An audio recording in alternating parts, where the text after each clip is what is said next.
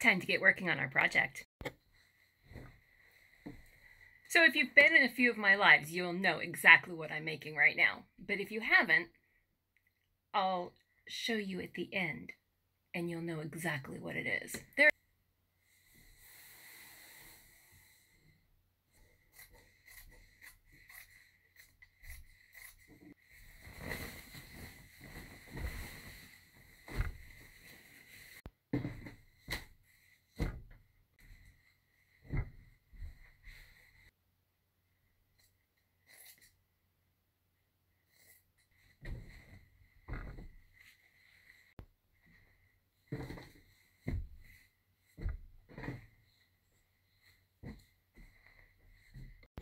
Did you guess correctly?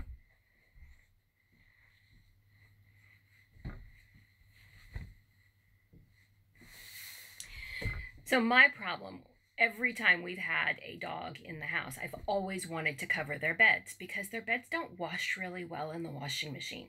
If I make two covers for every bed that I have in the house, then every different bed, then I will always have one cover on and one cover in the washing machine, and the dog actually will never have to touch this actual bed cover, which means I have to wash it less, which means less wear and tear on the bed and less wear and tear on my washing machine. So let's get to it because dog is coming. And you guys, some of you, helped play a major part in this.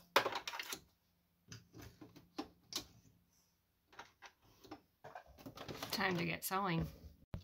Oh, and welcome to my craft room. You're not in here very often.